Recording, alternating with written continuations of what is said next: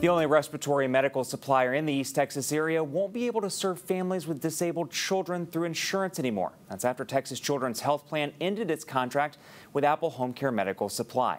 Affected families told CBS 19's Peyton Weidman they don't want to give up on the best provider their children have ever had.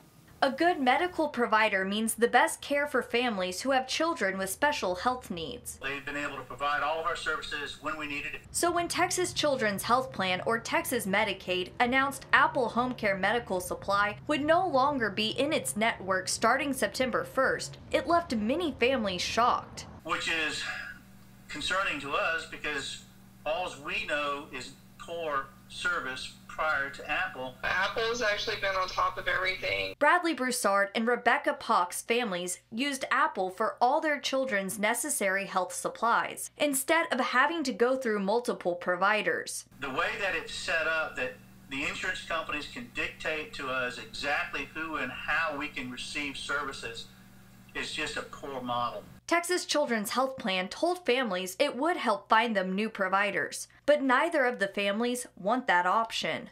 And then once you get in a right company and a perfect company that provides for your children everything that they need, why would you want to leave it? We've got you covered, East Texas. Peyton Weidman, CBS 19.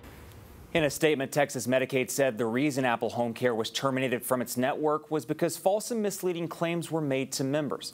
In response, Apple Home Care Medical Supply says they're working with the insurance health plan at preventing any interruption to life sustaining services.